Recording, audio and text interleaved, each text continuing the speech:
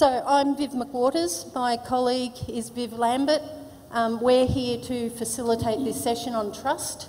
Um, we have here six uh, speakers, witnesses, who are going to give you different perspectives. The way this will work is I'm going to introduce them in a moment. Um, each of them will speak in turn, except for Judy, who is not going to give a presentation but will answer questions. And I'll explain why in a moment. Um, we will hear from each of the speakers. They've been asked to speak for six minutes each. So, what I want you to do when you're listening to them is come up to what are the questions you want to ask them to help you have a position, to either reinforce the position you've come with or to explore alternatives or to get clarification or greater understanding. Yeah? So, this is your opportunity to grill them. They're the experts and they're here to answer your questions. If they don't know an answer to a question, they'll just say, don't know. And you might have to find somebody else who has an answer to that question. Just because people are experts doesn't mean they know the answers to everything, which is why we've got a number of different witness juries going on at the same time.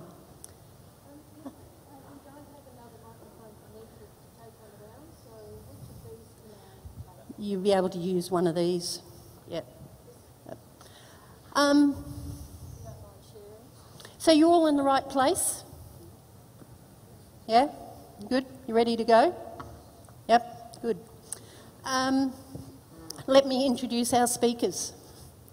We have Judy Hughes. Judy is a uh, lawyer, works with the government, and knows all about legislation and stuff. Stuff is a technical term. Um, are you your observers? Okay. Okay. Um, okay. So, welcome, Judy. Um, next, we have Mark Parnell. Mark is a Greens poly. Is that okay to say that? He's a Greens, Greens politician in the South Australian government and has got a long history of knowledge of nuclear stuff. That's another technical word. Next, we have Steve McIntosh. Steve McIntosh is oh, you know the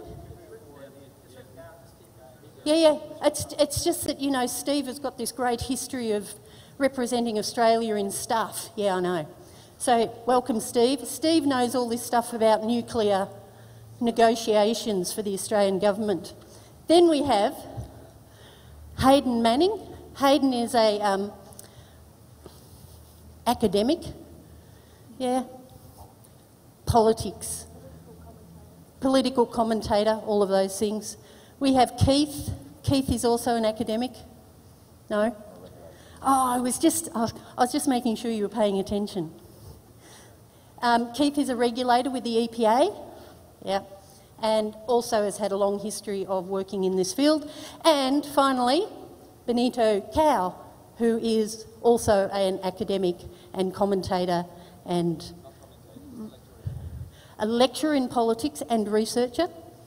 Yeah, okay. All right, so our first speaker is going to be Steve. Over to you.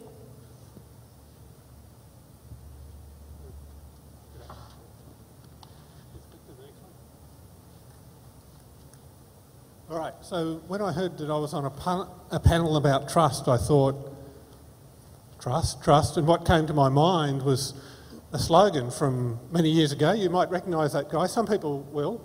I'm old enough to remember him. One of the many dictums of his was trust but verify. So that's what I'm going to talk a bit about, is how you verify if there is a decision to go ahead, and I have no particular view as to whether it should or it shouldn't, how you verify that it's going to work properly and how you verify that, uh, that all the systems are going to be in place to make that happen. Next slide, please. Okay, so internationally, the body I've worked with is the International Atomic Energy Agency, the International Atomic Energy Agency, people, when people think of the International Atomic Energy Agency, if they do at all, they think of them as the world's nuclear policemen. They're the people who go into Iran or wherever and check whether what they say they're doing is what they're actually doing and that there's not weapons programs going on or whatever. But in the field of verification of safety, which is what we're talking about here, verification of security, they also do a lot of work. They, in fact, prepare the basic safety standards which apply to the transport of radioactive material, to the storage of radioactive material, and so on. Next slide, please. One of the ways they do that is that there's a, that's a, is the Joint Convention on the Safety of Radioactive Waste Management and the Safety of Spent Fuel Management. Uh, and under that convention, so that's not a, a, you sign it and then you go away and do whatever you like.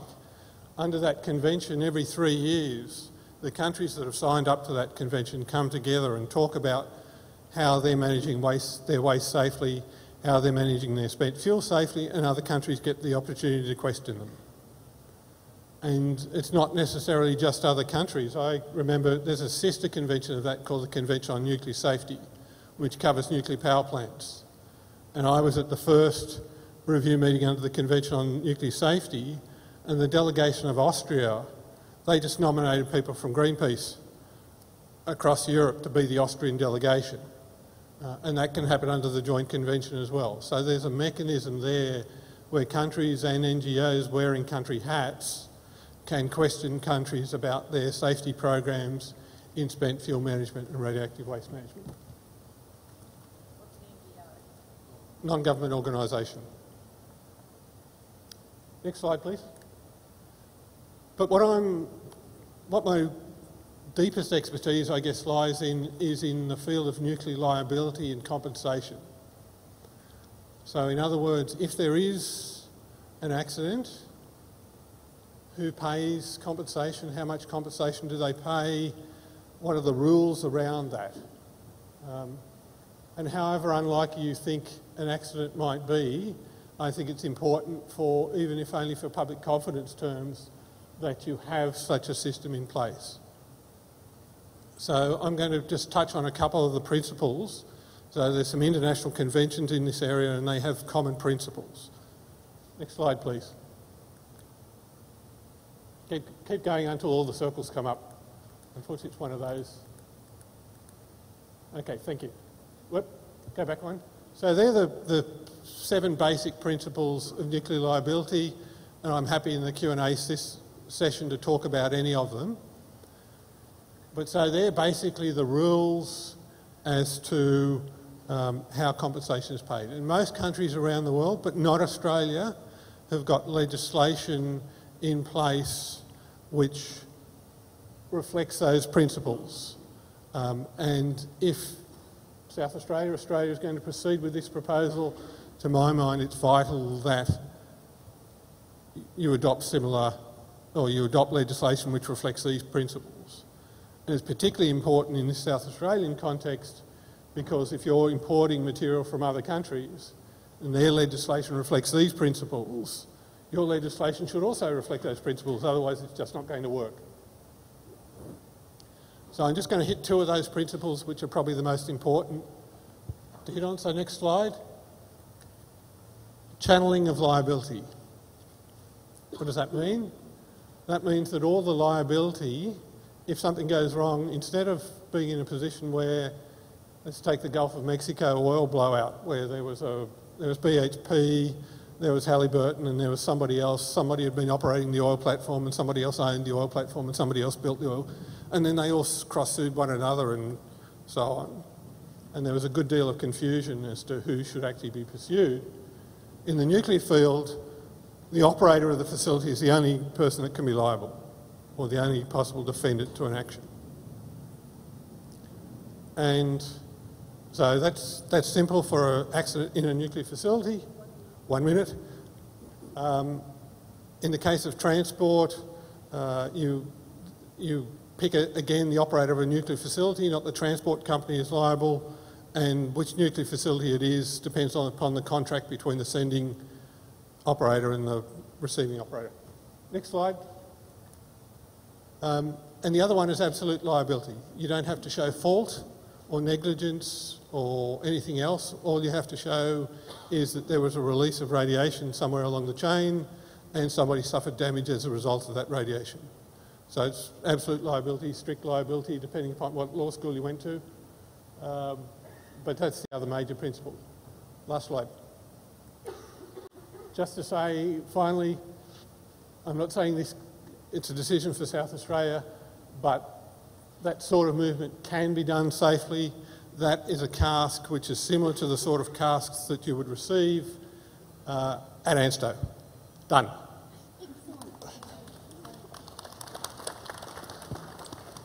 I'm threatening to hug them if they um, go over time. Uh, so thank you. Our next speaker. Um, trying to turn off the timer.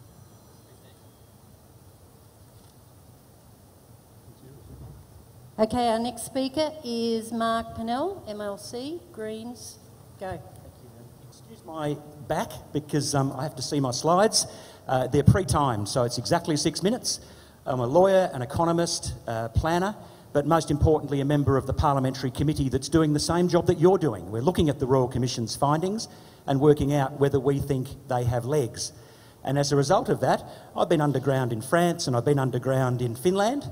Um, Kevin Scarce hated me calling it a dump. He said it's not, it's a highly engineered underground nuclear waste repository.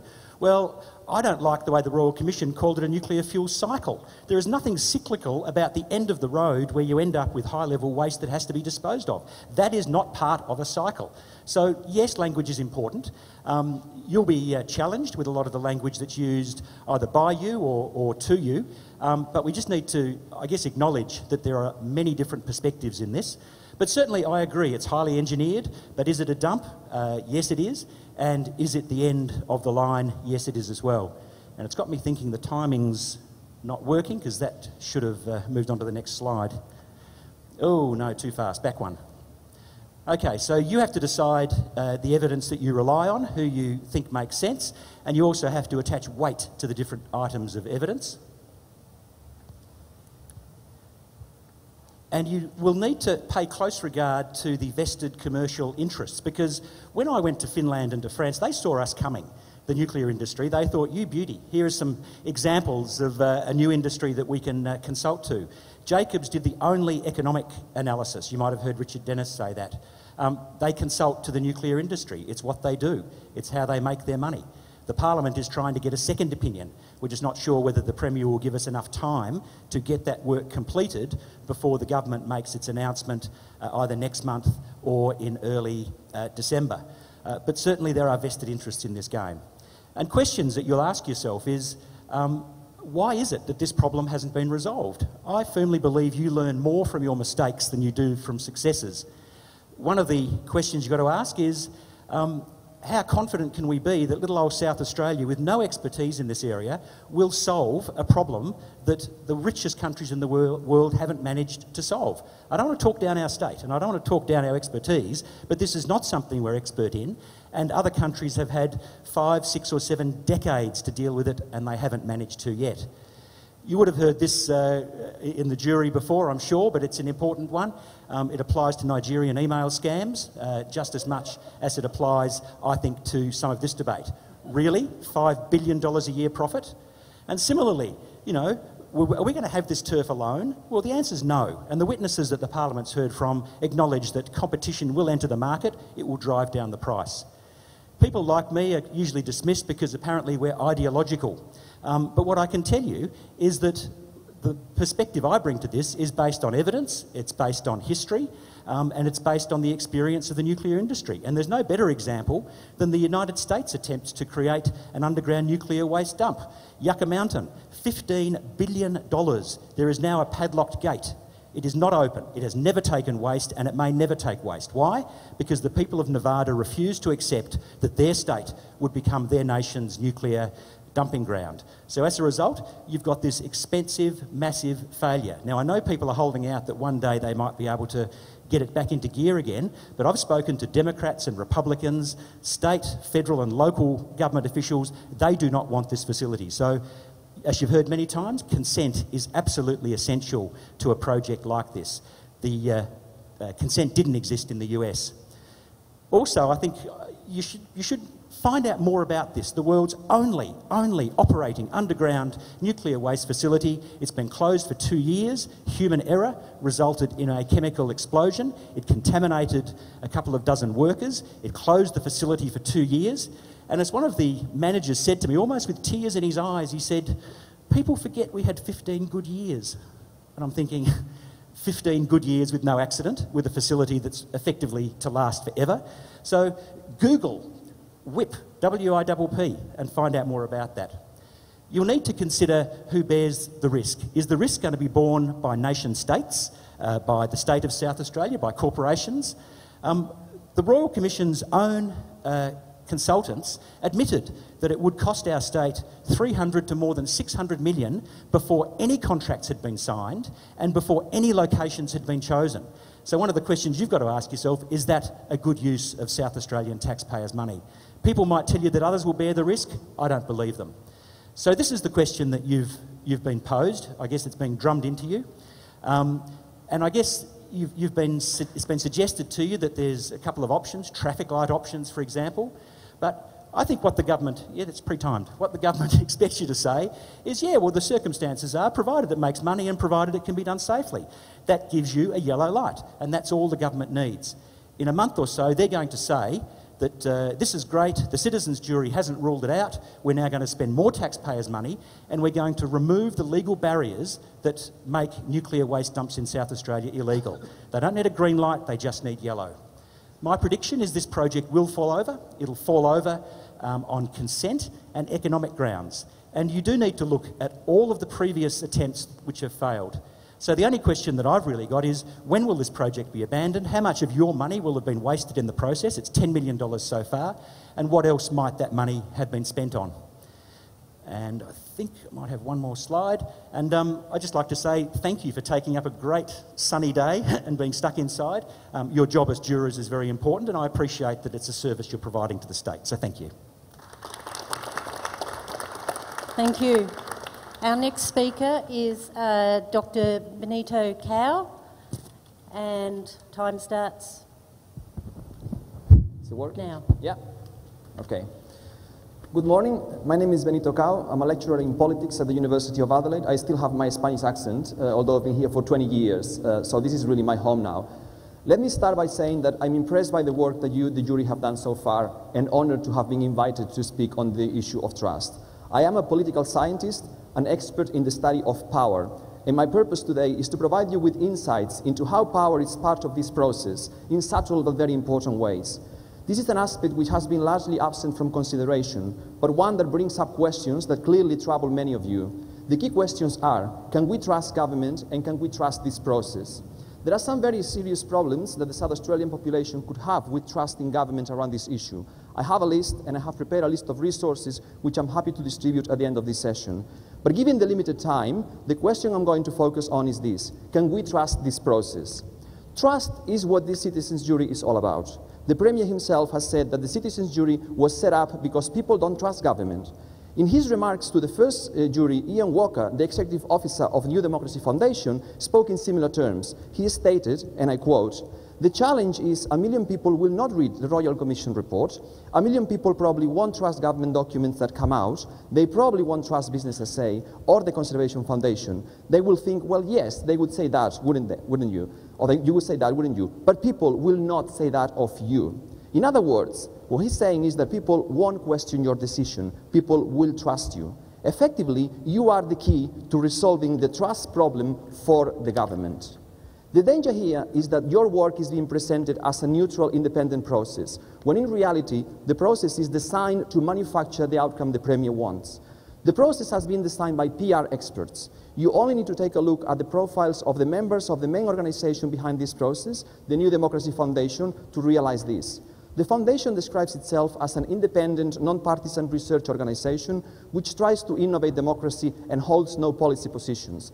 But the list of members and supporters reveals an organization that is far from independent from political or corporate interests. The list includes many former politicians, such as Fred Chaney, John Barton, and John Della Bosca. The research committee includes two former premiers, Nick Greiner, former premier of New South Wales, and Geoff Gallop, former premier of Western Australia. And the list also reveals a large number of specialists in community engagement, issue management, public relations, and marketing. These people are experts in managing public opinion. Indeed, I would say this process is arguably the most sophisticated case of manufacturing consent in the history of South Australia. It is impossible for me to explain in four minutes the wide range of techniques that can be applied to shape and manage public debates, including citizens' juries. But I'm going to provide you some examples that are relevant to this process. And the question here is this Are we being caught in a massive web of spin doctoring? Successful speaking doctoring and issue management requires framing the issue. That is the key. This can be done by constructing the questions, managing the debate, crafting the answers, and controlling the language. This is exactly what is going on here. Let me start with the question. I could give you plenty of examples of the power that questions can have in framing issues and producing specific answers. But here is a famous one. Two priests, being unsure if it was permissible to smoke and pray at the same time, wrote to the Pope for a definitive answer. One priest phrased the question, Is it permissible to smoke while praying? and was told that it is not, since prayer should be the focus of one's whole attention. The other priest asked the question, Is it permissible to pray while smoking? and was told that it is, since it is always appropriate to pray. Same issue, different questions, opposite answers. I am aware that you didn't choose the question. In fact, I have been told that this is an issue of contention amongst many of you. I'm not surprised they didn't let you choose the question or change the question, because the question is one of the most powerful tools in the hands of those managing this process. The question you have been asked to answer is a leading question, as one juror put it to me, this is a yes question. The question predisposes any evidence gathering and deliberation towards an affirmative conclusion. Let's now examine the answers. The use of three options is a well known psychological and marketing trick. There is plenty of evidence that shows that when presented with three options, most people instinctively, in the case of products, or because they want to come across as reasonable in the case of debates, choose the option in the middle. The use of three options is a basic tool of what experts call choice architecture. I'm also aware that you, you did not choose the three option approach to articulate your answer, the green, amber, red, or yes, yes, but no. But like the question, this approach to the answer is loaded towards an affirmative conclusion. Finally, let's examine language. The third example of framing that I want to show you is the one of the word jury.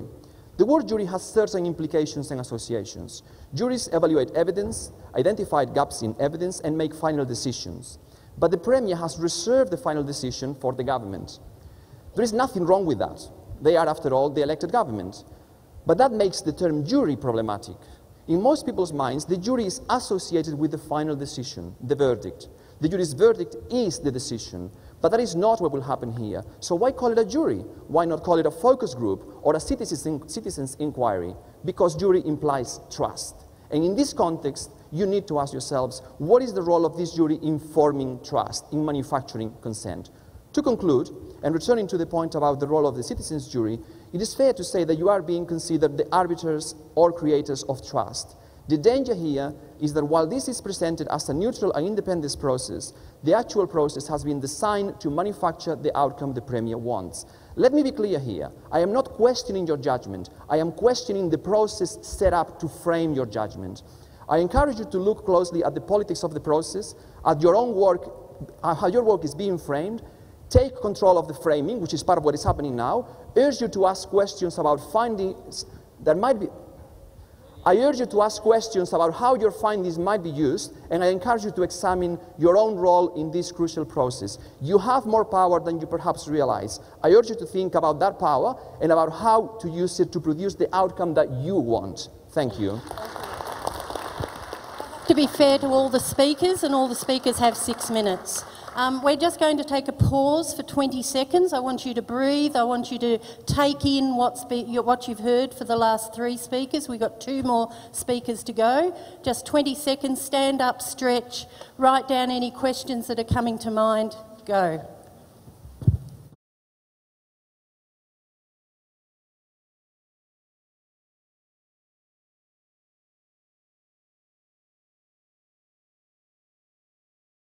Is if you've got questions about regulation as an expert, this photograph is from my garden. I love South Australia. My daughter's just finished year 12, my son's in year 10. I've got a great interest, um, great personal interest in, in the process you're going through and the future of South Australia as well. I'm going to talk about trust, and obviously, people don't trust governments. What can you do to actually build trust in a regulator? Because if you don't trust the regulator, then you're not going to have the sort of facility that you're considering. It's a, it's a difficult issue because as you'll be aware through, through, this process, there's a lot of technical issues about um, units that we never use uh, in day-to-day life, timeframes and amounts of money that are uh, too big to imagine. Um, you need to be an expert to know whether you can answer, to, to answer the question, is it safe or not? Should we be doing this or not? So the public have to trust the expert. Um, and there are parts of the world where people are choosing not to trust experts. And that's one option. So, what would we need to do to trust a regulator? What might build trust anyway? So, the job of a regulator is to protect people and protect the environment. It's to protect this generation, but also it's to protect future generations of South Australians and Australians and the rest of the world. Um, it's got to protect Indigenous culture, Indigenous heritage, but one of the things it's, it's got to do is it's got to give the, the public confidence that the thing is being managed safely. Um, so, what might, what might do that? I've got a, a list of things that I think might build trust in a regulator. I'm going to talk briefly about a few of those. I think possibly the, the key one is independence. I think that if you're going to have a facility such as you're considering, then the regulator has to be seen to be independent. If they're not independent, then you're not going to trust them if you think that they're um, representing the interests of the people developing the facility, for example. They've got to make decisions free from political influence and free from economic influence. They've got to be able to provide the public and the government with advice without going through a filter of somebody with a vested interest. And a, sort of a related thing, they've got to base their regulation, their decision making, on on evidence. So I can't be driven by a particular point of view of we need this thing to work or um, we shouldn't be doing this thing. It's got to be based on evidence that relates back to their purpose of protecting people and protecting the environment. And to do so, they need the right expertise. Now, I've got a team of 12 radiation um, regulators, and it won't be that team. You'd need, obviously, a much bigger um, pool of expertise. But it's critical that government resources and funds the right level of expertise to do that. Um, I think that this thing about protecting people and the environment is, is critical. It's got to be the primary fo focus of the regulator, and the legislation has got to be framed with that as the principal focus, and that is really something that you should, if you're going to build trust, you've got to believe that the legislation is in your interest not in the interests of, um, for example, getting the facility built and running. Accountability. Regulator, if you're going to trust a regulator, they've got to be accountable to, to the public. Um, we've got an example, Maralinga, the government wasn't accountable, there was no regulator to be accountable. We've got generations of harm to Indigenous communities as a result of that. Another critical aspect in building trust is transparency. If you're going to um, if you're going to trust the regulator, then you have to believe you know everything. It shouldn't matter if the Russians hack all our emails. It shouldn't matter um, because you should know that information already or have access to the information already. I think that it's really important to if you thought anything was being hidden, you wouldn't trust um, the regulator. The regulator must make everything public, every incident, every decision, um, down to really low levels. much below, we might think that doesn't matter. That's not, that's, that's not the issue. The issue is whether you believe you've got access to the information. I think that the World Health Organization had it right about um, a few years ago when they said that the days when you could have a regulator who said, we know there's a risk, we've got it under control, um, don't worry about it, those days are gone. I think that if you're going to have a facility, like a nuclear spent fuel management facility, you're going to have to trust the regulator, otherwise you don't want one. Um, if the regulator is going to get that trust, then they in turn need to trust the public that um, to be involved in the process and to trust them with all of the information. Thanks. Thank you. And our final speaker, uh, Hayden Manning, who's going to give us the perspective on environmental politics. Okay. Thank you. Because I'm prone to talk too much, I've got my timer. Starting now. Thanks for the opportunity to speak to you. Alas, I'm going to be talking in headlines, but pictures. I want to explain who I am. Do you trust me? A pretty important question, um, as you'll see. Uh, the process, can you trust it? And finally, most importantly, what might it look like if indeed we were to go down this path in terms of how the government might rig up the management of used nuclear fuel? So I went from that, well, from this to that. Um, I used to protest on the streets of Adelaide and did. I might have been alongside Mark back in the late 70s when I was quite a student radical. Um, I sometimes refer it as my misspent political youth, but it was all a lot of fun. But I did change over time. In the late 90s, I was asked to um, teach environmental politics. Um, and it was really during the process of preparing lectures and trying to present both sides um, that for the first time I had a bit of a learning curve. I read the other side. I read the industry, the nuclear industry. What, what were their arguments? And I found it quite confronting. It took a while to deal with that it saw me rethink this very question quite early on. Should good old Oz host high-grade nuclear fuel? Because I'll get to a slide in a moment. The idea was kicking around the late 90s. It's not the first time we've addressed this in the country, although it was quite hidden. It was not in the public view. Um, but really, you, you really have to judge for yourself the safety aspects. Early on, I concluded it looked pretty damn well safe, and since reading the Royal Commission now, I'm more convinced of that. But I've done a number of radio interviews and I've often said, don't believe me. You really have to do your own research, and you're doing that, of course, um, to uh, work that out. But at the time, I hadn't flipped, as they might say, to become totally pro nuclear. I simply saw managing waste wasn't a bad idea. So my argument in lectures to students to provoke conversation was we should take it only from those nations moving out of the uh, generation of nuclear power. But this would shift as I read more of both sides of the argument in favour of nuclear power. I taught in China. Again, I can't elaborate, I haven't got time. That had a huge impact. Just being in Beijing, Tianjin, these big cities, and thinking about climate change. Um, but also, uh, I'm not anti renewable energy. In fact, alas, with my wife, we own shares in renewable energy companies, none in anything to do with the nuclear fuel cycle big supporter of renewable energy options. I have a fair idea what they are and what our chances in Australia are for developing those, and I'm quite agnostic. I'm not necessarily saying we need a nuclear power plant in Australia anytime soon. But can you trust this process? Look, I think it's pretty damn good.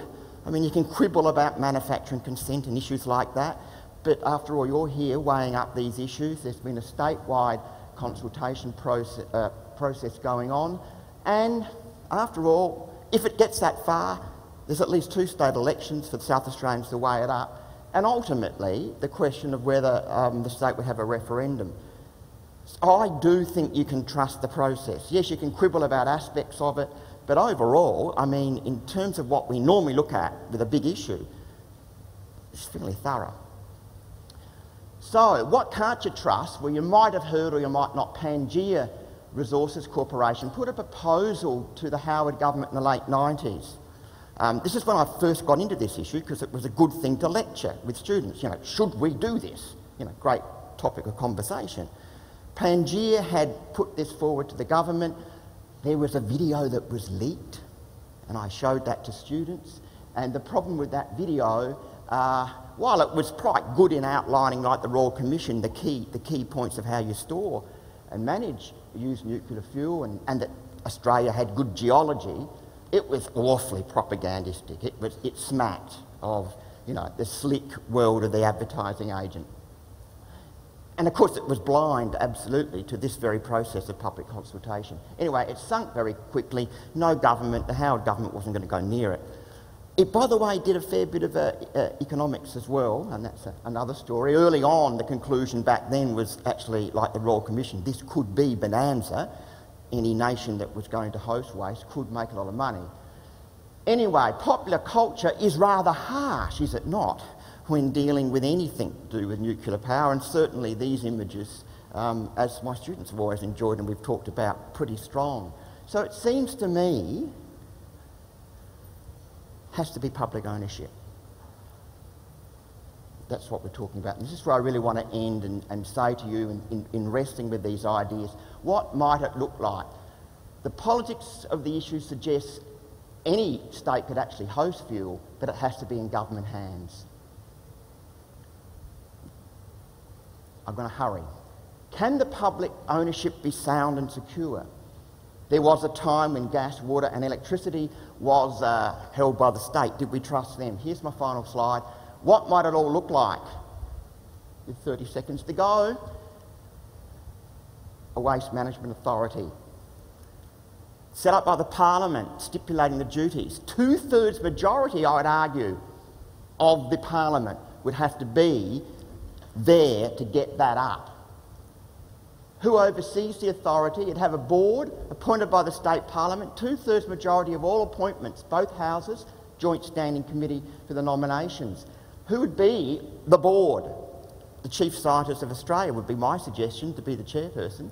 At least six highly qualified engineers, an environmental non government organisation person, a Greens MP, Mark, so there's a job for you, I see what's happening, um, and a press council nominee. Last slide, then you might also have an annual report that's put to the Parliament. I'm moving away. Um, again, a very thorough report, but then a briefer, more public report, a layperson's report.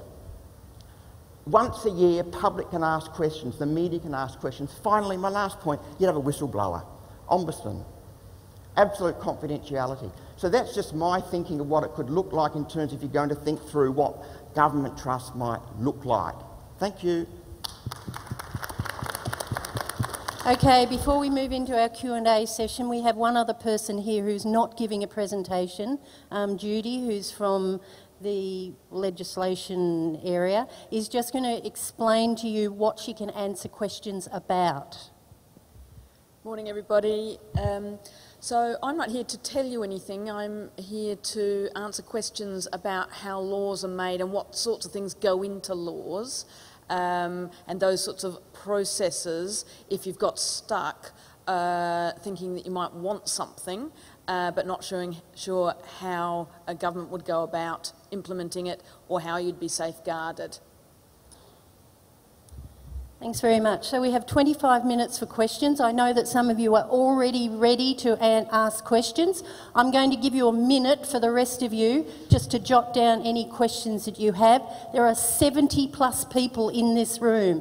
I'm also going to trust you to give everybody a go at asking questions. A minute to think about the questions you want to go and then a full 25 minutes of questions. Are Uh, that, that, yes, that yes that PowerPoint I, will send through to Ilka um, tonight, tomorrow, so you can have them. Yeah, no worries. Yeah, they'll all be available on um, boot, boot camp or base camp. Base camp, that's Yeah. Um, just a, a thought, um, because we're live streaming this, this um, if you're a red lanyard person, you might just want to sit to the side um, because you're being filmed from the back, but all of this is live streamed. And for the speakers, I know that you'll probably be sitting down, but the cameraman has asked, could you stand more in the, in the middle? Okay, we're going to take questions. Um, can you please say your name and who you are going to um, ask your question of? Okay, thank you. Uh, Graham Davies. I'm a professional engineer. I've run large projects at Olympic Dam. I have a concern that for 60 years the nuclear industry is producing waste, and um, as an engineer, the precaution, the Code of Ethics in Engineers Australia says we should have the precautionary principle in place, which means you don't produce something unless you know how to manage it. So for 60 years, there's been a mammoth effort to look into waste and how to deal with it. There is no solution. There's not one piece of nuclear waste in permanent storage. And I used to be a consultant for um, Atomic Energy Board previously, and I've wor- and worked in this industry. So I've moved judging by my question, from being neutral to this is actually a dangerous product being released without any management in process. So how after 60 years can you say that you're working within the code of ethics to not release this issue, you know, to have something of this substance released on the market? And it's, sorry for... Uh, Sorry. Um, yeah. Um, uh, the, I mean, it's not true that, to say that no waste has been disposed of. There are low-level waste facilities around the world which have disposed of thousands of cubic metres of low-level material. High-level waste has taken longer, and that is mainly because it's a political problem. I mean, the politics, as you've heard, the politics of siting a facility is very difficult, and it takes time to build community consent. So there is a, a, widespread consensus that deep geological disposal is the preferable course of action, whether that's direct disposal of spent fuel or disposal of the waste that arises from reprocessing of spent fuel. And a number of countries have got far enough down their community consultation processes to have selected sites for that. Uh, but you're right, there is no operating facility the operating facility in the United States to which Mark referred is a defence facility. Community consent processes for defence facilities are, let's say, different. Uh, that's, that's probably another word for it, I'm not arguing with that. Uh, but in terms of siting civilian facilities, you need community consent and it takes a long time to build that community consent.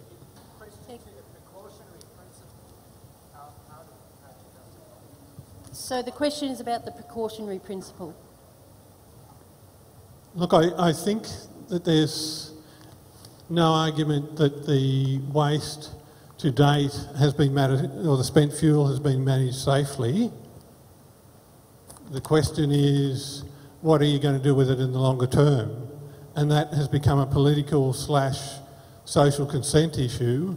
And frankly, if governments tried to rush that decision, you'd end up with the Yucca Mountain process again. You'd rather okay. take the time. Okay, I'm going to get a question from this side of the room, please.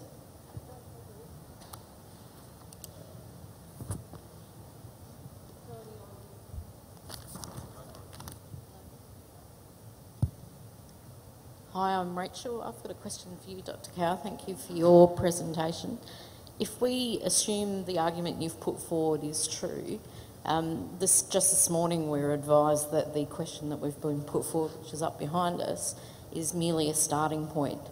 And given your presentation, just wanted to seek your view on if we were allowed to do that, what your suggestions might be around the arguments you've put forward. I actually think that you should be the ones discussing the question you want to answer and come up with a agreed position. And if you think that the majority of you think that that is the question that should be answered, you actually answer that question. But you should be the ones deciding what the question is. Now, if you say, what question do I think? I would go with a question that is, has options that, is, uh, that are fair. So you go with a yes or a no.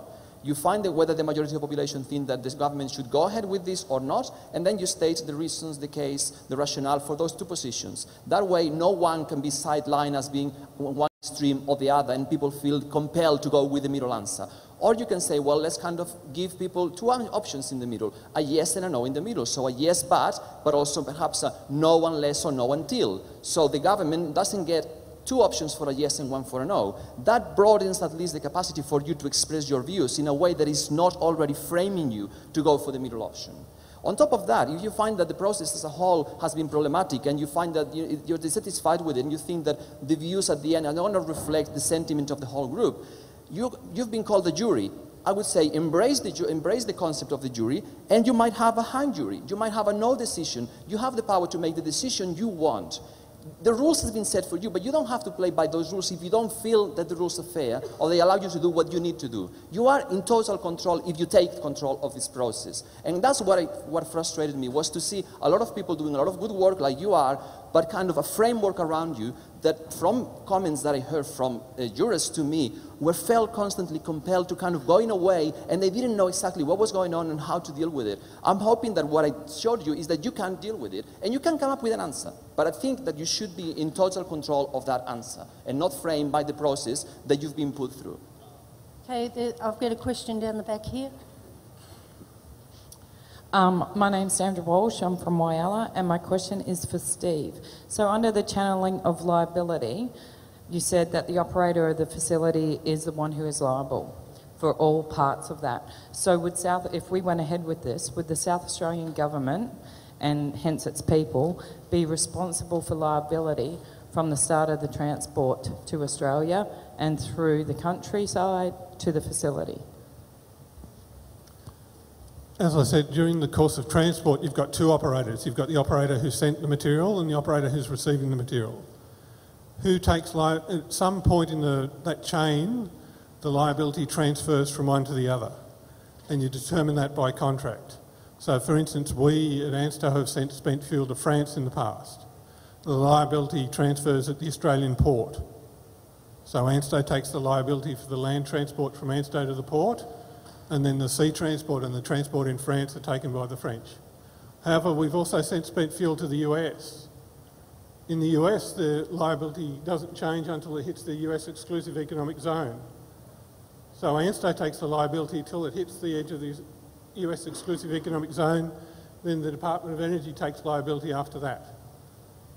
My argument, though, would be that because one thing that's left to the somewhat to the discretion of the countries who sign up to the system is the amount of liability. There's a minimum amount of liability you, which you must provide for, but you can cap an operator's liability at that amount.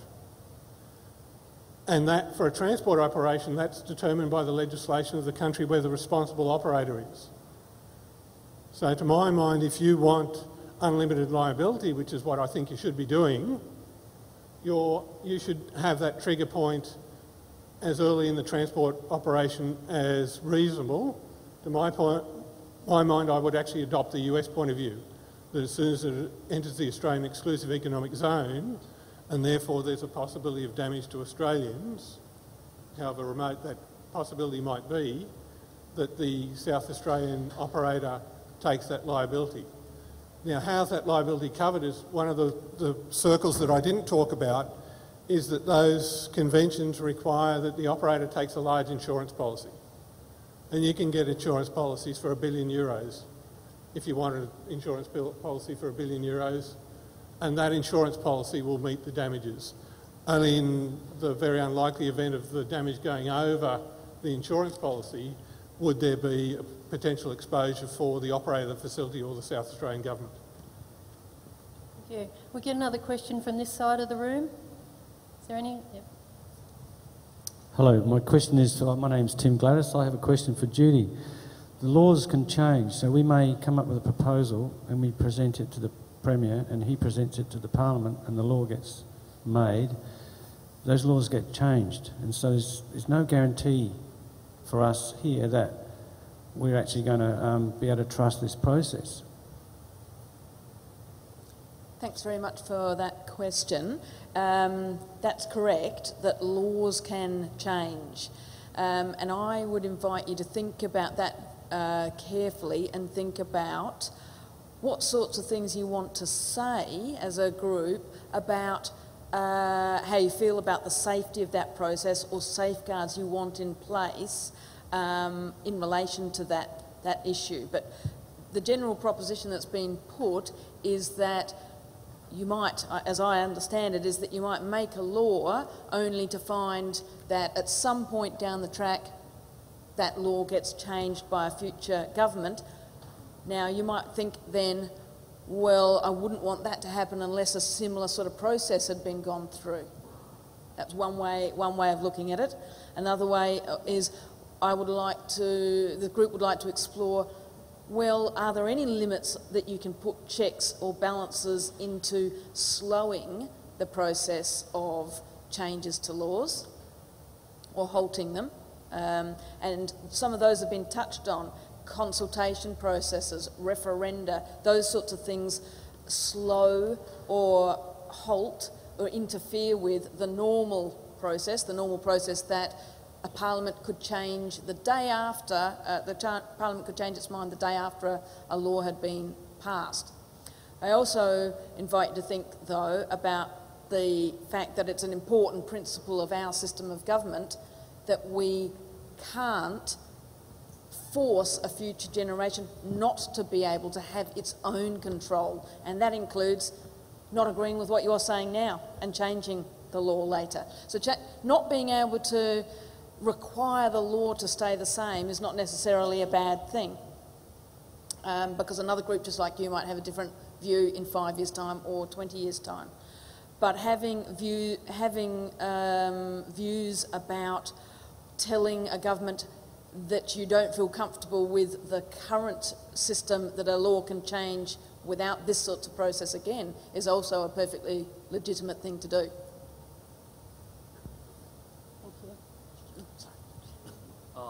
Yeah, pretty much. Uh, you've, pretty, you've almost answered my question. But I did have a question for Benito, uh, Don Eickhoff. Um, I, um, regarding the people that you, that you stated as being on the board of Democracy Co., blah, etc., and vested interests and all of that, a problem that I have is that um, and government. Government is, in, particularly in Australia, is formed by the people. So us as people actually form the government. So uh, uh, unless you're prepared to disagree with me, Mark, that you're no longer a person, um, you know, I, I, don't, I, don't think that's the case in the slightest.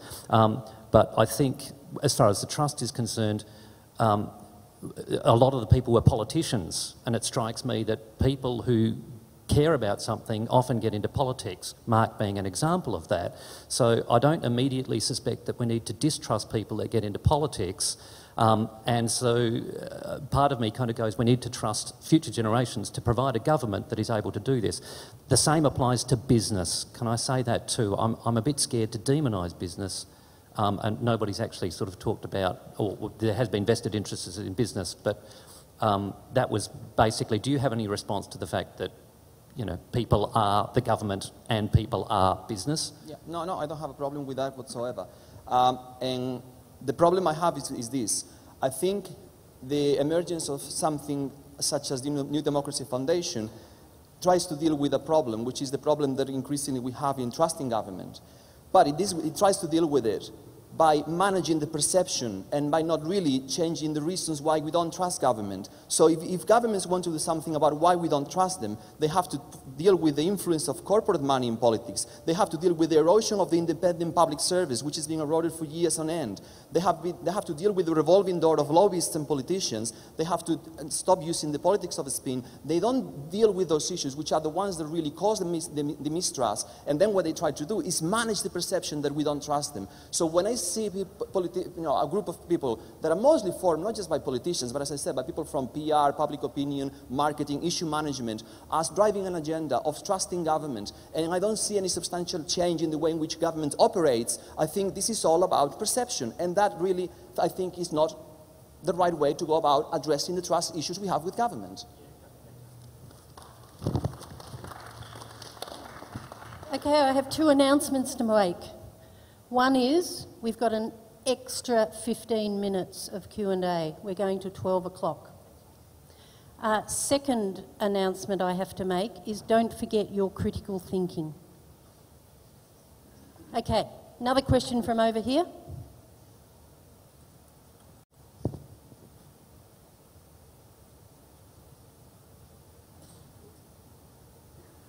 Uh, g'day, my name's uh, Adrian. Um, just a question for Mark. During your uh, talk, you mentioned a government announcement next month, and they're, they're going to uh, you expect the government to state that the citizens' jury hasn't ruled it out completely.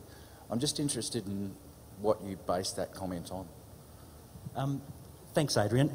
Largely on Benito's sort of analysis, I, I, he was a bit stronger than I was going to be. I, I'm, glad that he had the courage to say it because many of what he, much of what he said was similar. Um, you know, who goes to a restaurant and you get the wine list and you order the second cheapest glass of wine. I mean, hands up, who's done that?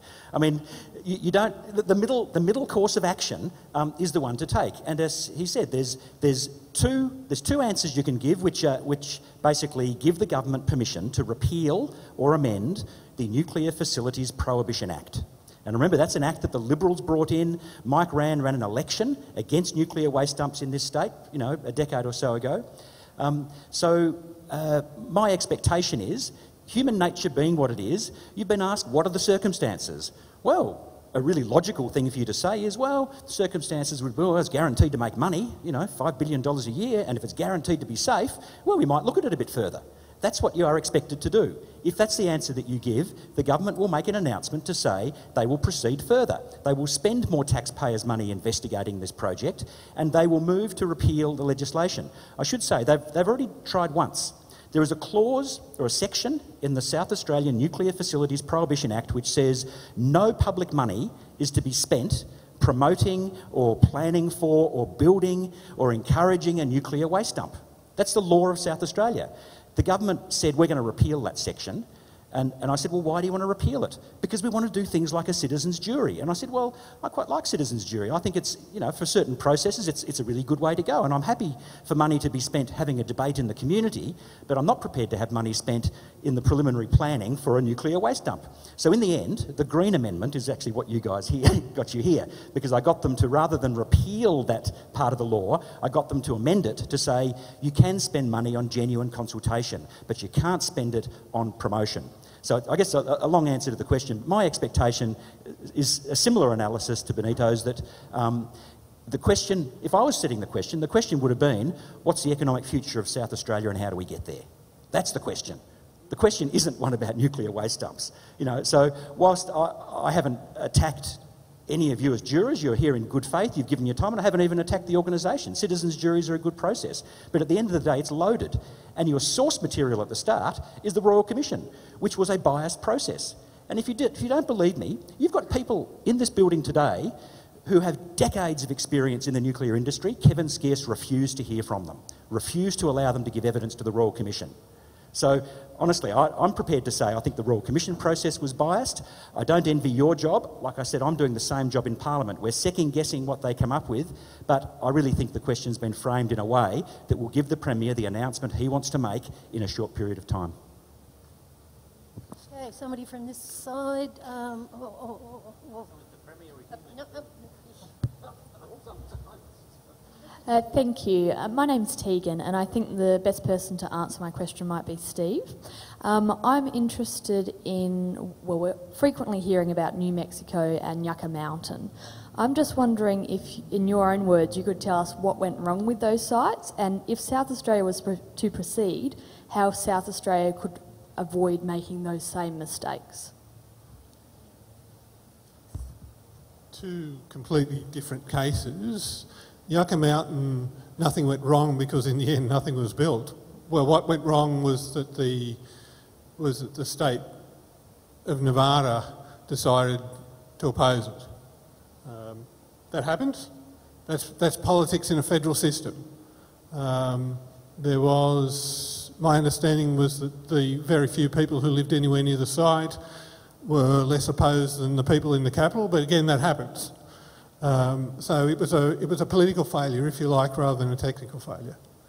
Um, New Mexico was a failure in safety procedures.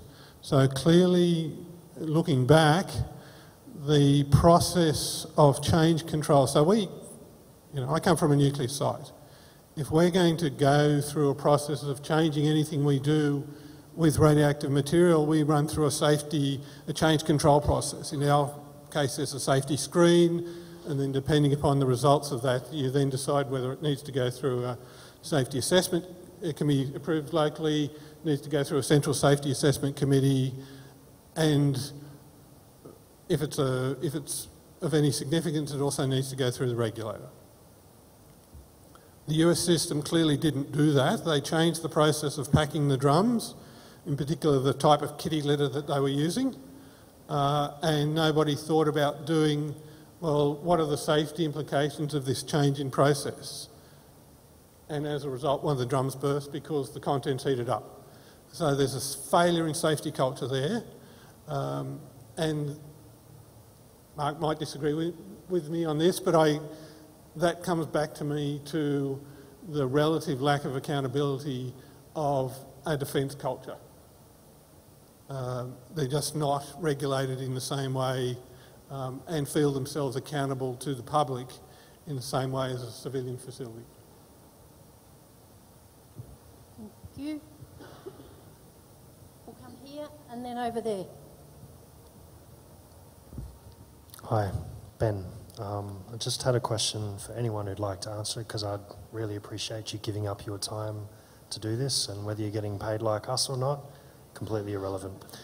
Um, I think it was in May this year or last year, the multiple land use framework was passed through government, and I'm just concerned whether that has anything to do with what we're discussing in this citizens' jury. Thanks.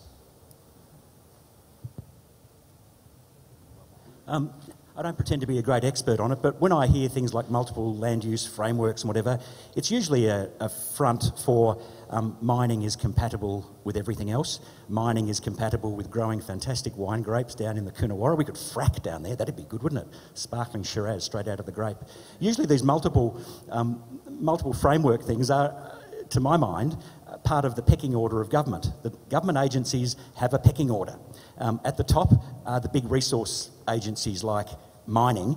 Um, down near the bottom are environmental agencies and, uh, and public health agencies. So I don't know whether it's got direct relevance. Um, I think uh, there's a, the legislative framework for, for nuclear waste is incredibly complicated. It involves international treaties at the top. It has to involve national laws. It has to involve uh, state laws. And um, if you look at something like, you know, why Nevada uh, failed, their state uh, had more power, perhaps, than our states do in their federal system. But at the end of the day, um, it doesn't matter what the Premier says uh, next uh, week or next month. Um, it's not going to be the end of it. You know, there are. There's, in fact, one thing I learned in Finland and France and everywhere else is these things take decades decades. I mean, I think they, as I said before, they will want to remove the legal impediments. They want to remove the laws that stop them progressing uh, this idea. Uh, but ultimately, there's going, there's going to be no firm decision to go ahead uh, this year or next year, or I'd be surprised even within five years. So it's a long term process. Like I said, the only question for me is how much money, how much of your money might we have wasted pursuing this before people realise that it's a pipe dream, a mirage in the desert? Anybody else on the panel want to comment? Um, I think that there's certainly a, a, number of phases to this. At the moment, the question you're being asked is a, you know, a society-wide, a question for South Australia, should we be doing this at all? Um, clearly, if you're going to have a facility, it's got to be somewhere. Um, I think one of the things you, you, you, might consider is, you know, what, what sort of um, constraints or arrangements or rights and responsibilities for for that, for that phase when you've got an actual community. Um, do you want to comment on it at this stage? I mean, you don't build it without the community consent at a local level and at a society level. You've got to do it in this order, because if we don't want to do it, we don't want to do it. Um, but, you know, there is a genuine next step in terms of um, what sort of rights do you want to give people that would be in the region of where a facility was? Um, just quickly on the question of time, one of the things that most surprised me in this period when I was transitioning from being very anti everything nuclear to being more pro is I did research into the debates in the South Australian Parliament over uranium mining. And it was the former Premier Hugh Hudson, a Labor Premier in the late 70s. Um, I always remember reading this. He, he, he'd been to a tour in France and he said in the Parliament, there is no great rush. And I thought, what, what does he mean by that? And as I understood, and now you can see if you read the report, over many, many years, and now decades, used nuclear fuel didn't have to be put away for long term keeping. Now, it's actually being stored in dry cask alongside power plants. But now, at five decades or so into generating energy from nuclear power plants, it is pressing. And I scratch my head a bit when we talk about decades ahead. The reason the Premier and Mark and others went to Finland was actually to see how it's engineered. It- It just strikes me as odd to think that it would take decades to actually work out how to engineer, given what I understand, and I'm not a geologist, but I understand we have a, a lot of suitable geology in this state, a lot of choice of where a repository could be located, um, to see that happen in a shorter time frame. But I stand to be corrected by anyone, but I just don't see why it's decades long. Certainly the consultation process will take a while, it's no doubt, if the state wants to go ahead. Benito, comment? Yeah, quickly. Uh, if you want to look at the implication of things that are happening that might have an impact into the future and what do they tell us, the more interesting one for me in this context is the fact that uh, Christopher Pyne and Julie Bishop earlier this year signed Australia up to an international forum dedicated to expanding the use of nuclear energy, the fourth generation reactor forum. So I also have a sense that the decision on this waste dam would then be linked to an overall expansion of the nuclear industry. And if that's part of what is happening here, what, you know, in the Yes Minister series they used to call salami tactics, one slice at a time, we should also be aware of that.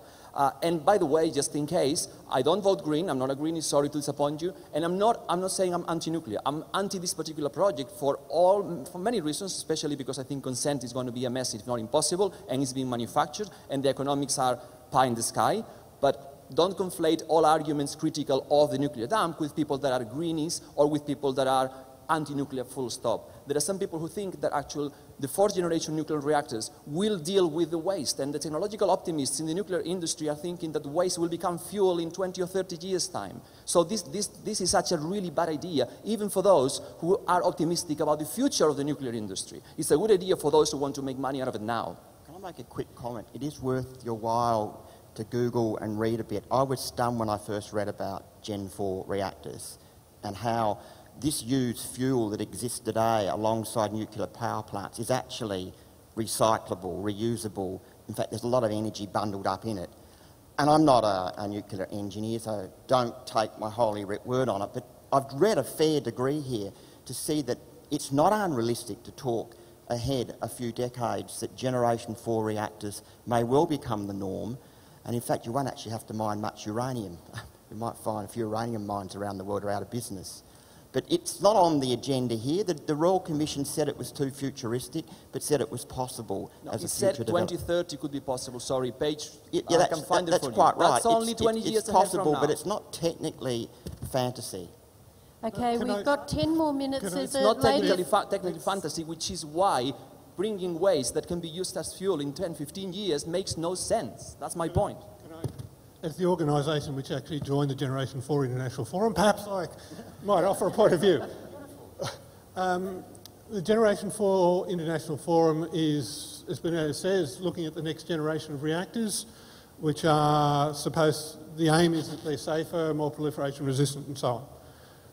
As Benito says, I think the, the fir- first deployment of most of those reactors is decades away, though there is a Generation 4 reactor or a pair of them currently under construction in China, uh, pebble bed reactors. Um, so some designs are perhaps a little closer than that, but the, given the scale, the time period over which nuclear reactors operate, 50, 60 years, it will take a long time for the global fleet, even if Generation 4 reactors are- a reality in 15 years, it will take another 50 years for the global fleet to substantially switch to Generation 4 reactors. Um, but in terms of us joining it, it's not about building a Generation 4 reactor in Australia, it's about using our materials science expertise to develop the materials that those reactors, because those reactors will operate at higher temperatures and in some cases with greater radiation loads. We've got some expertise from running a research reactor for 60 years in dealing with those sort of things. Uh, and that's the expertise that we would deploy, but not with an eye to building those in Australia. Certainly, the, maybe in 40 years' time, but certainly the first ones wouldn't be built in Australia. Okay, we need to move on to another question. Lady in the front. Hi, my name's Micha- my name's Michaeli Langman. I'm just uh, uh, requesting some information about the history of this issue. I was surprised when it came up because it seemed only yesterday, or only a few years ago, that we had a referendum. A decision was made that we not go ahead with uh, the nuclear disposal uh, waste facility, and this particular uh, clause was put into the uh, legislation as a result that no more public money be spent upon it. So, what has changed? What, what caused that particular referendum to take place?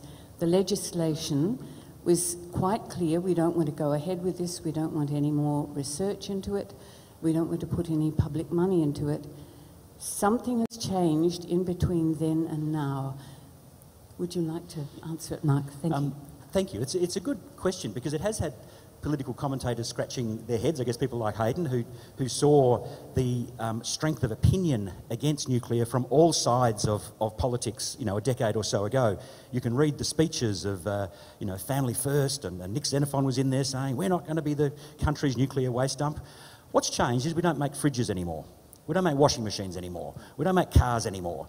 And I think quite rightly and quite reasonably, the government is thinking, well, what the hell do we do next? You know, it, it, it's been driven by this economic imperative. Now, there's plenty of answers to that question, I think, that involve the, the, the food industry and the wine industry and water management. There's a whole lot of things we can do. But I think, born out of this desperation about where the South Australian economy is going, um, some people uh, have dusted off this notion that um, the world has a problem. It's called nuclear waste, um, and Australia might be able to help solve it. And as a result, the Royal Commission was announced. And when I asked the Premier why a Royal Commission, and, and the answer really was that that's sort of the highest level inquiry you can have. But I think it really was misguided because Royal Commissions uh, um, have things like coercive powers to get reluctant witnesses to talk to you. Um, whereas it was the opposite in this case. There were will- willing witnesses who weren't allowed to talk to the Royal Commission. Um, but I don't think there was a referendum as such, but certainly there was a political consensus that South Australia was not going to be the nation's nuclear waste dump. And we are talking about intermediate and low level waste here. So you fast forward 10 years, and now um, we've got this proposal that you're considering is that as a purely economic measure, and you've got to remember this there is no other reason to do this other than that it will make money. For a purely economic measure, we could make ourselves fabulously wealthy by taking uh, spent nuclear fuel from countries that don't yet know how to dispose of it.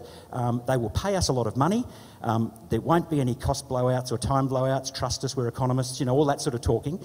Um, and, and it's born out of this economic.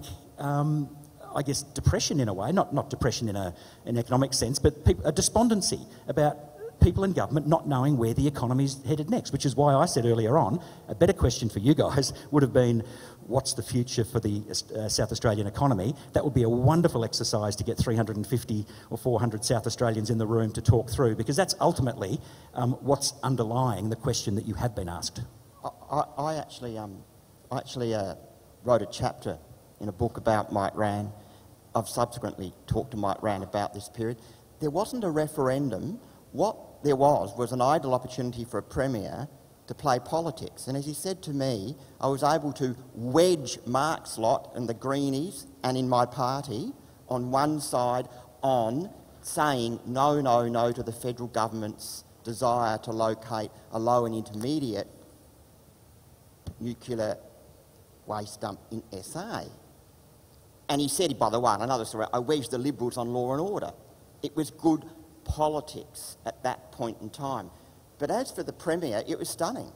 I was shocked when the Premier announced um, a Royal Commission into what is potentially deadly politics.